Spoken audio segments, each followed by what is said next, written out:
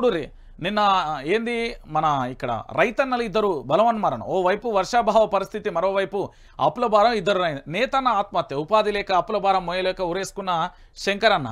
ఇక దాంతో పాటుగా ఏంది ఈరోజు తెలంగాణ రాష్ట్ర వ్యాప్తంగా రైతుల గోస అరిగోసగా ఉంది. రైతు అనే వ్యక్తి ఘోరాతి ఘోరమైన పరిస్థితి ఉంది. పెట్టుబడి సాయం రాలే రైతు రుణమాఫీ కాలే. ఓ పక్కన పెట్టుబడి సాయం తెచ్చినందుకు పెట్టుబడికి సంబంధించిన అప్పు తెచ్చినందుకు వడ్డీ ఓడు సతాయిస్తాడు ఇంకా రెండో చోట ఏం ఏం జరుగుతున్నది అంటే ఈ రుణమాఫీ కాకపోవడం వల్ల బ్యాంకులో సతాయిస్తున్నారు. ఈ రెండు కారణాలు ఒక ఎత్తు అయితే ఇంకా అప్పులలో బాధ మరో ఎత్తు. ఈ మూడు కారణాల చేత ఏమీ చేయలేక అసలు ఇక రైతు పరిస్థితి చెప్పట్ల అవసరమే లేదు. కళ్ళల్లో కన్నీళ్ళు కాదు రక్తపు చుక్కలతో తెలంగాణ రైతాంగం ఉన్నది. ఇది వాస్తవం. చెప్తున్నా కదా.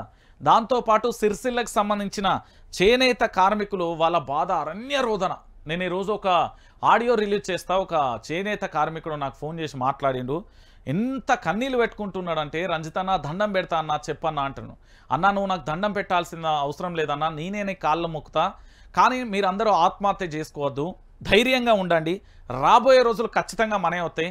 ఇవాళ ఉన్న కన్నీళ్ళు రేపు ఉండయి ఇవాళ ఉన్న కష్టం రేపు ఉండదు ఇవాళ ఉన్న బాధలు రేపు ఉండయి ప్రకృతి అసొంటిదే. వర్షాకాలం వే ఎండాకాలం చలికాలం అని మూడు కాలాలు ఉంటాయి. కాలం తీరుగా మనకు కూడా అదృష్టం అనేది కలిసి వస్తుంది. కొంచెం ఓపిక పట్టండి అన్నా అని దయచేసి అని నేను చెప్పిన. అదే మాట మళ్ళీ లైవ్లో చెప్తాన్నా చేనేత కార్మికులు రైతులు దయచేసి మీరు ఆత్మహత్యకు పాల్పడద్దు.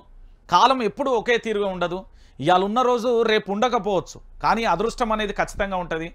మనం వంద శాతం పనిచేసినా ఏదో ఒక రోజు ఏదో ఒక రకంగా కూడా దేవుడు మనిషి రూపంలో పంపిస్తాడు. జర ఓపిక పట్టురు ఎందుకంటే రైతుల ఆత్మహత్య అని అయితే నేను చూడలేకపోతున్నా. ఇక దాంతోపాటు